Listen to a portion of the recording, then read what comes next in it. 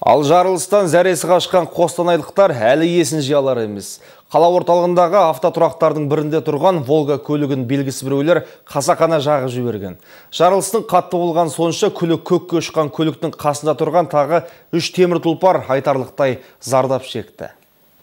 Әпсәтте көк құшқан көліктен қалған қалдықтардың өзінің темір тұлпар екеніне Ғазиз Сүлейменов сен алар емес. Жұмыстың қызған уақытында көліксіз қалғанына қапаланады. Оның үстіне сау тамтығы қалмаған машина үшін өте мақыны кімнен өндіріп алатынынан да бейхабар.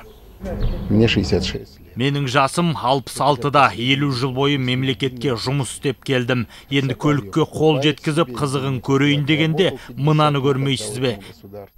Таңертең қала ортасындағы автотұрақта тұрған Волга маркалы көлік өрт оранып қызыл жалын кесірінен қасында тұрған тағы үш машинаға жақым келген. Қатты шыққан жарылыс дауысынан оянған жақын маңдағы тұрғын үйдің азаматтары бірден далаға шыққан. Выходят во двор с нашего дома, я подбежал и увидел, Тұрғындар жүгіріп шыққанда жарылыс әлі жалғасып жатқан. айналаның барлығы қою қара түтін. Volkswagenнің иесі көршім жаншыра жүгіріп келді, бірақ ол шет жағында тұрғандықтан машинасы зақымданбапты. Міне бақылау камерасына жазылып қалған бейне жазба автотұраққа емін еркін кіріп, көліктерге көз жүгірткен жігіт анық көрінеді.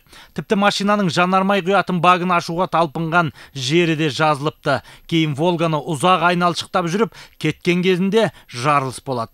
В ходе осмотра места Оқиға болған жерді тексеру кезінде көлік маңынан оттықты таптық және жанған шүберектер алынды.